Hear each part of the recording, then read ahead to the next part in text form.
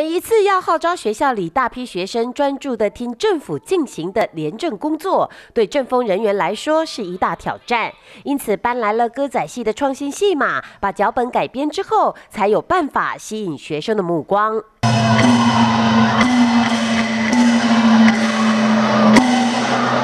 像是借由举办大型竞赛活动，健身好手齐聚一堂，也让廉政宣导有了更多民众响应的机会。现在紧接着又推出廉政的压箱路跑，这样一连串的系列活动，都是因为我们就是五节乡民的支持。那在此也感谢大家，那谢谢大家能够继续支持我们的廉政工作，让我们能够成就是达成活力五节的目标。每年都推出创新反贪宣导创意的宜兰县五节乡公所，今年则是请来了当地的特色代言人鸭宝宝，邀请全国各地的健走路跑好手一起参与品尝当地美食以及饱览平原风光的健身休闲活动。我们这次啊，结合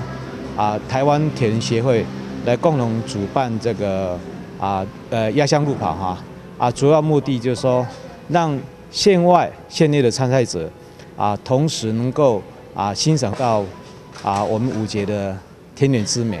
推陈出新的反贪策略，结合了传统民俗以及在地活动，不仅参与的民众增加，也因此有了一批参与推动联能政府反贪污的主要社群，借此来增加推广的成效，也能进一步结合文创与在地特色景点的介绍。政府机构的联能工作，兼顾了成本和效益考量，一举数得。